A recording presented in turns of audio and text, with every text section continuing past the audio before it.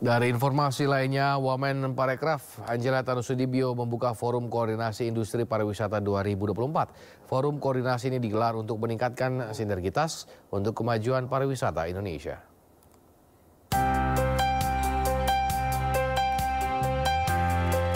Kemenparekraf menggelar Forum Koordinasi Industri Pariwisata 2024 di sebuah hotel di Bilangan, Jakarta Selatan.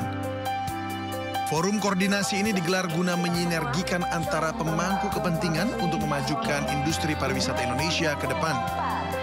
Membuka acara ini, Wamen Parekraf Angela Tanusudibio menekankan bahwa sektor pariwisata merupakan sektor yang sangat penting bagi kemajuan ekonomi Indonesia. Angela juga menyebut sektor pariwisata Indonesia memiliki potensi yang luar biasa dan memiliki multiplier effect bagi masyarakat luas. Dan istimewanya bahwa pariwisata itu adalah sebuah sektor yang trickle down efeknya benar-benar kerasa ke masyarakat. Pariwisata adalah sebuah sektor yang padat karya. Pariwisata adalah sebuah sektor bukan seperti SDA, tetapi kalau betul-betul dijaga, ini bisa diwariskan dari generasi ke generasi.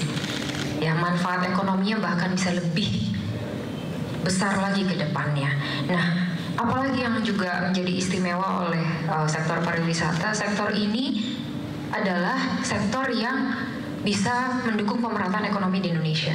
Dengan tema membangun sinergitas industri pariwisata untuk meningkatkan daya saing, forum ini menggelar dua sesi diskusi yang akan membahas sejumlah isu termasuk ketenaga kerjaan, keselamatan hingga strategi pemasaran pariwisata di kancah global.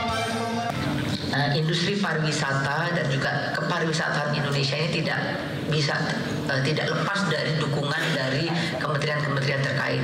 Isu-isu mengenai tenaga kerja, isu-isu mengenai keselamatan, isu mengenai pajak, isu mengenai uh, pemasaran, uh, konektivitas, semua ini juga ada di kementerian lain. Dan kementerian uh, kami dari Kementerian Pariwisata tentunya ingin mendukung agar industri uh, yang ada ini bisa tumbuh uh, berdaya saing dan berkelanjutan. Digelar untuk pertama kalinya Forum Koordinasi Industri Pariwisata ini diharapkan dapat menjadi gerbang kemajuan pariwisata yang inklusif dan berkelanjutan. Dari Jakarta, Bayu Pradana, Muhammad Faisal, iNews melaporkan.